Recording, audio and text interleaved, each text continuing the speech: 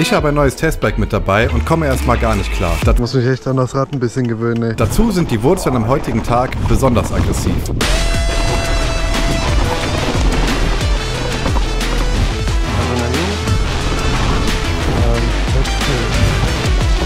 Außerdem ist im Wald absolutes Chaos mit umgestürzten Bäumen. Dazu kommt auch noch ein alter Bekannter das erste Mal zurück in diesem Video.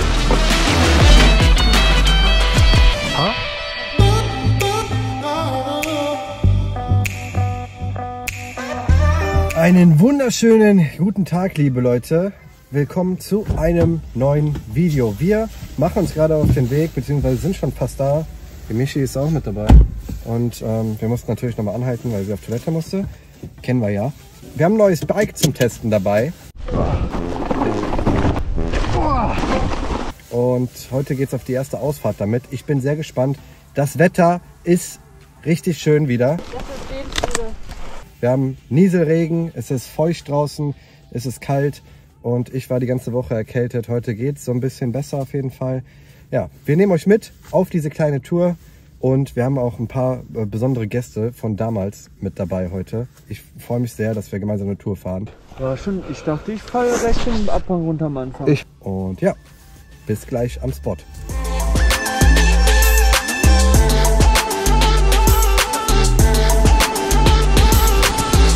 So Leute, wir sind auf dem Uphill. Die anderen fahren da vorne. Der Magma ist mit dabei. Wenn ihr den noch kennt, Leute. Also wegen dem, äh, der ist ein bisschen schuld, dass äh, ich jetzt äh, Fahrrad fahre mit dem Steve zusammen. Und ja, der hat auch ein neues E-Bike, das Propane. Und wir drehen heute eine gemütliche Runde. Der Olli ist mit dabei, den kennt ihr nicht. Und natürlich die Michi auch. Und ähm, ich muss schon sagen, der Motor extrem, extrem leise von dem Pass Riot. Jetzt müssen wir hier klettern. Natürlich, aber her, der, der Olli fährt ein Levo SL, wie ich sonst. Natürlich kein Problem, hier drüber zu klettern. Die anderen mit ihren Full-Size E-Bikes haben natürlich dann den Struggle. Hier sieht es ziemlich so aus, werden viele Bäume umgekippt. Das heißt, mal gucken, wie viel hier überhaupt befahrbar ist heute. Aber ja, ich werde eh heute gemütlich machen, weil ich einfach ja, die ganze Woche krank war. Hier kurz rumzirkeln und jetzt nicht übertreiben will direkt. Ja, aber ihr kennt das ja sicher sich selber, wenn ihr ein neues Bike im Keller stehen habt, dann müsst ihr das fahren. Also ich habe ja das Fahrradprofil hier eingestellt ähm, in der App nach diesem Quiz. Ich fahre jetzt in der mittleren Unterstützungsstufe und das ist super angenehm. Wenn ich jetzt in den Boost gehe, schiebt es gar nicht mal so viel mehr. Ich denke, es kommt natürlich darauf an, wie ihr das in der App einstellt, aber bergauf auf jeden Fall mehr, ja, mehr Unterstützung als jetzt das neue Levo SL. Ja, und der Motor ist extremst leise. also wirklich, wirklich nice. Davon abgesehen sieht man natürlich auch gar nicht, dass es ein E-Bike ist. Wenn man es nicht weiß. Das ist schon geil.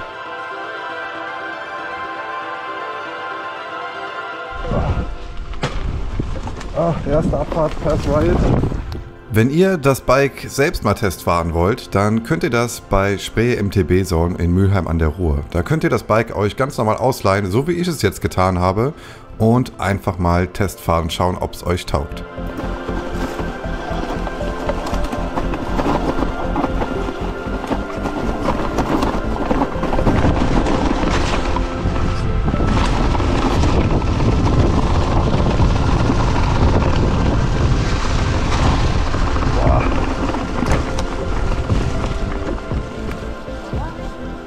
War richtig, ja, ja. War schon rutschig, ne? Boah, Digga, war gut rutschig.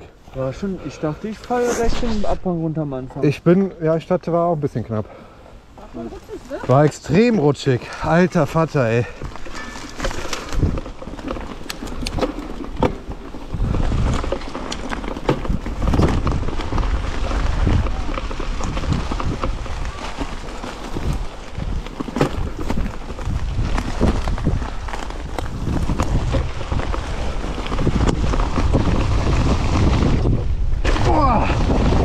Scheiße, Alter.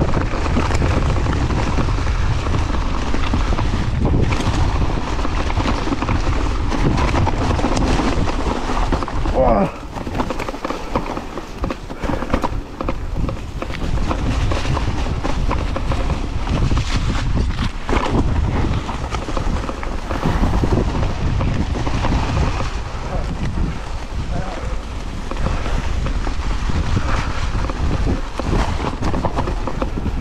Also irgendwas klappert extrem an dem Rad. Scheint irgendwas nicht zu stimmen.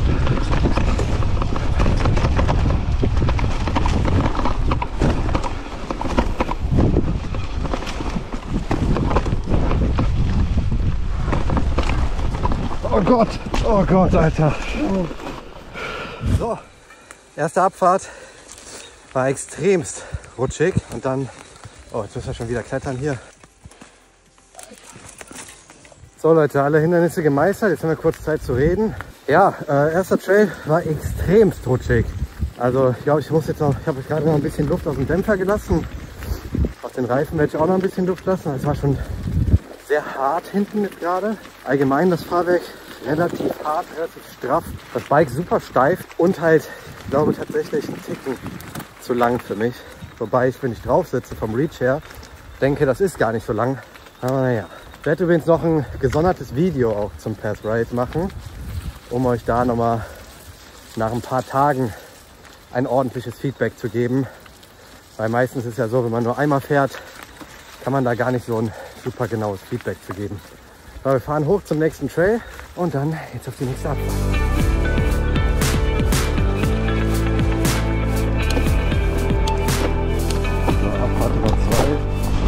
Noch ein bisschen was am Fahrrad gemacht.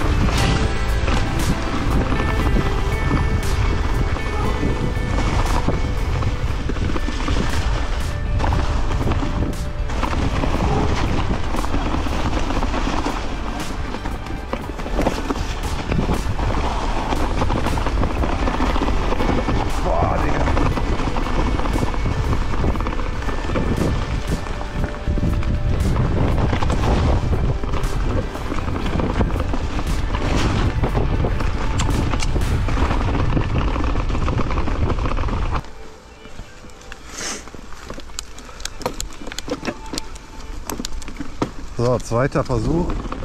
Fahrwerk nochmal angepasst. Ah, das ist so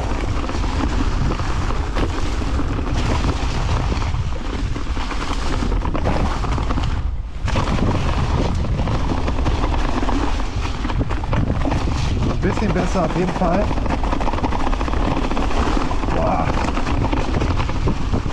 Hier, Marv.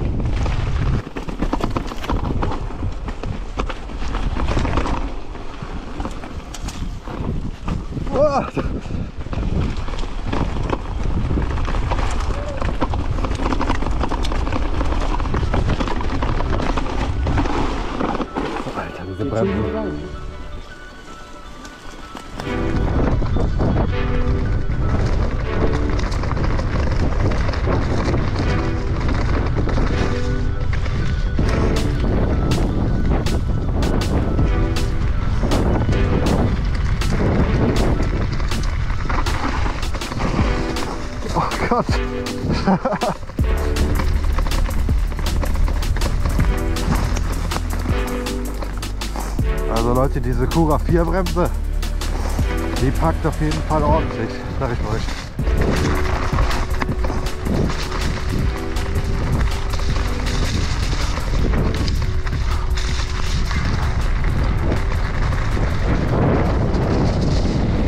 So Leute, wir fahren äh, weiter zu den nächsten Trails. Ähm, da sind so ein paar kleine Table und ich will natürlich auch das Springen noch testen.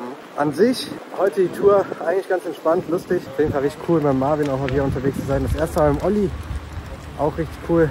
Akku habe ich noch jede Menge.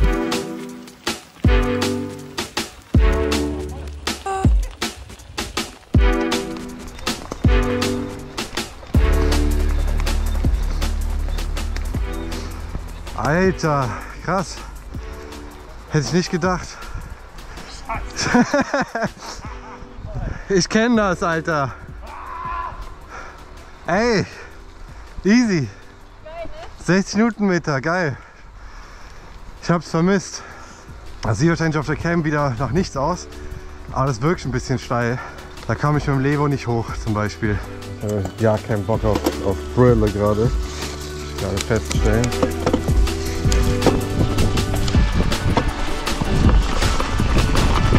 Mocke. Oh.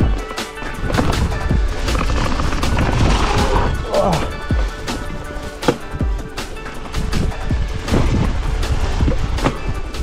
Wie springt die Schaltung, Alter. Oh, Fußgänger.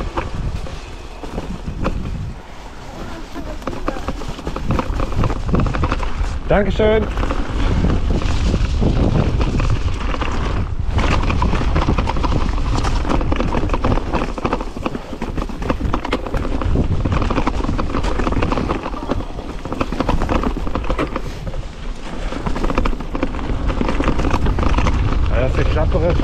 Strange.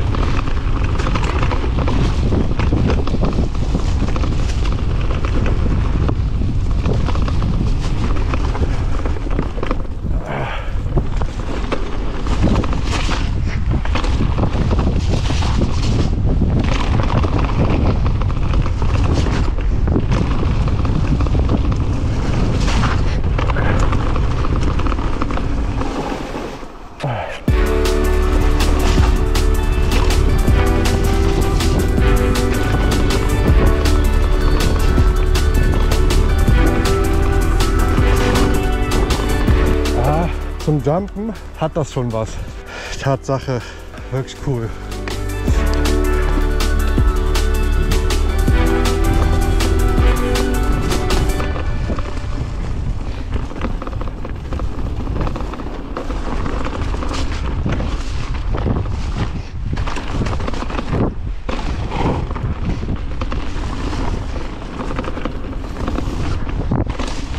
Rebound haut mich von hinten krass raus. Obwohl ich den ziemlich langsam gestellt habe. Eine kurze Runde das neue Ikano hier vom Marv mal testen. Vielleicht, ja, schreibt mal in die Kommentare, ähm, ob ihr Bock hättet, das mal ausführlich zu testen. Dann würde ich den Marv mal fragen, ob er mir das mal für eine Woche gibt. Er hat echt volle Hütte hier. MT7, Kashima mal vorne, hinten, alles dabei. Ich glaube, ich würde den Lenker mit mehr Rice fahren. Das ist das was mir auffällt. Eine Pedale. Geil.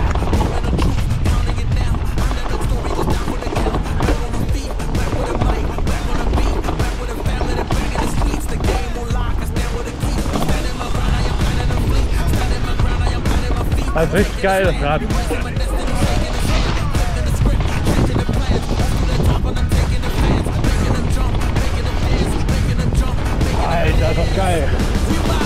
Alter.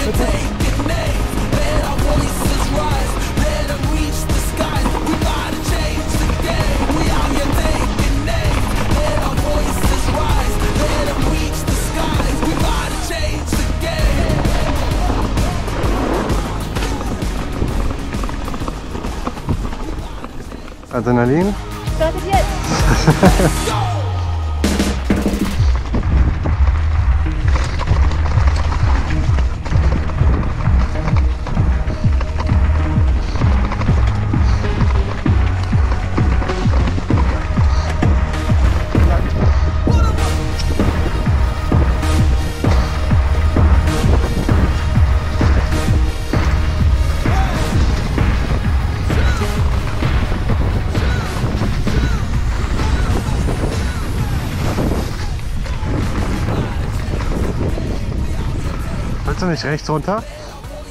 Hier lang. Okay.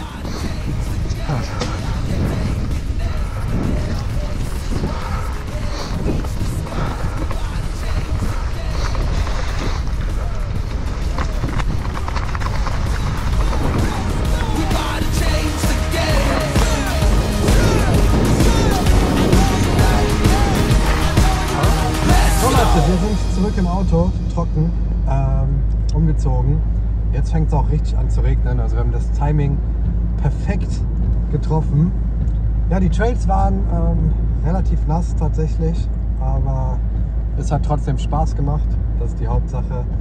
Ähm, ich konnte das Ghost so ein bisschen testen. Es kommt noch ein extra Testvideo, wo ich genau darauf eingehe, was mir bei dem Rad gefällt, was mir nicht gefällt und so weiter und so fort. Das wird auf jeden Fall ähm, spannend. Denn wie ihr alle wisst, schwärmt der Corby ja so von dem Bike. Und ich glaube, dem Corby kannst du jedes Bike geben und der rasiert mit jedem Bike, ist total egal. Aber trotzdem sagt er immer bestes E-Bike und so. Und ähm, ob, das, ob ich das genauso empfinde, das äh, werden wir sehen. Denn es ist ja immer sehr, sehr subjektiv, wie ihr wisst. Und ähm, wenn wir jetzt Bikes auf dem Kanal testen, egal ob ich alleine oder Thomas, ist das ja immer total Gefühlsding. Ne? Ja, wir fahren auf jeden Fall jetzt nach Hause. Ich muss sagen, jetzt nach der Tour fühlt sich das mit der Erkältung schon viel besser an. Und ähm, ich glaube, ich mich jetzt schön warm duschen gehe gleich, was Gutes esse, dann bin ich morgen wieder richtig fit und dann ganz nächste Woche endlich losgehen. Ich habe so viele Videoprojekte noch offen, die ich umsetzen möchte, die jetzt ja, diese Woche nach hinten verschoben worden sind. Und da könnt ihr auf jeden Fall gespannt sein. Ich freue mich auf jeden Fall auf die Zeit. Ich freue mich mega auf die neue Saison. Ich freue mich auf, dass der Marv wieder Bock hat, Fahrrad zu fahren und dass wir halt mit dem Olli noch einen mehr haben. Ähm, Ollis Freundin zum Beispiel fährt auch Mountainbike, die ist allerdings verletzt im Moment. Und ähm, vielleicht fahren wir auch mal mit denen gemeinsam Urlaub. Das würde mich übertrieben freuen. Weil wenn man mit den Leuten abseits vom Mountainbiken auch noch gut befreundet ist, das ist einfach mega. Und yes, ich hoffe, ihr habt eine gute Zeit. Lasst gerne ein Abo da. Wir sehen uns in den nächsten Videos. Bis dahin. Ciao, ciao.